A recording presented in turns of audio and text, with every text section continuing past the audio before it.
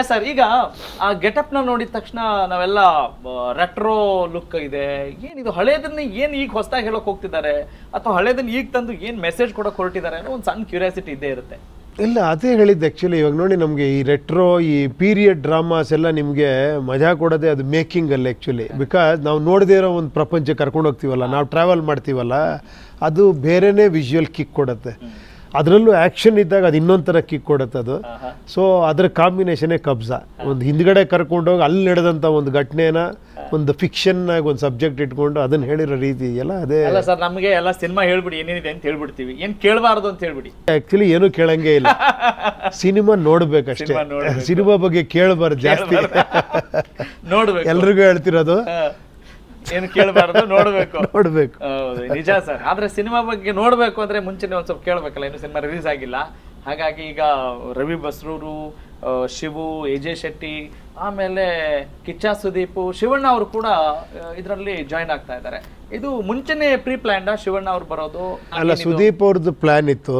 ಶಿವಣ್ಣ ಅವ್ರದ್ದು ಒಂದು ಐಡಿಯಾ ಇತ್ತು ಅವರಲ್ಲಿ ಬಟ್ ಯಾರು ಅಂತ ಇದಾಗಿರಲಿಲ್ಲ. ಬಟ್ ಶಿವಣ್ಣನ ತರಬೇಕು ಅನ್ನೋ ಒಂದು ಒಳಗಡೆ ಇತ್ತು ಅವ್ರಿಗೆ.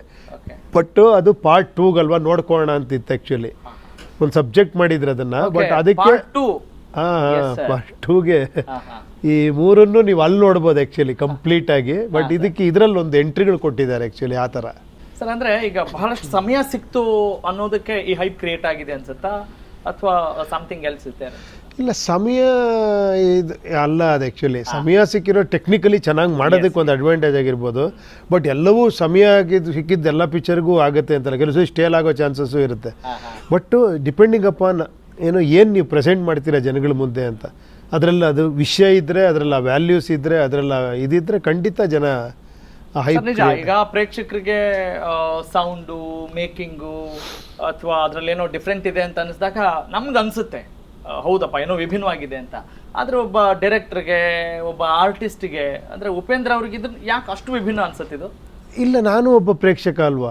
ಸಿ ನಾನು ಆರ್ಟಿಸ್ಟು ಡೈರೆಕ್ಟರ್ ಅದೆಲ್ಲ ಬಿಟ್ಬಿಡಿ. ನಾನು ಒಂದು ಪ್ರೇಕ್ಷಕನಾಗಿ ನಾನು ಕೊನೆಗೆ ನಾನು ಎಂಜಾಯ್ ಮಾಡಬೇಕಲ್ವ? ನಾನೇ ಇದು ನೋಡಿದಾಗ ಫಸ್ಟ್ ಟ್ರೈಲರ್ ನೋಡಿದಾಗ ವಾವ್ ಅನ್ನಿಸ್ತು ಆ ಟೀಸರ್ ಕಟ್ ಮಾಡಿರೋದು ನೋಡಿ ವಾವ್ ಅನ್ನಿಸ್ತು.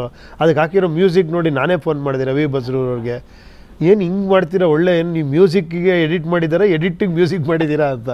ನಾವು ಎರಡು ಜೊತೆಲಿ ಬಿಟ್ಕೊಂಡು ಮಾಡ್ತೀವಿ ನಾವು ಅಂದರು.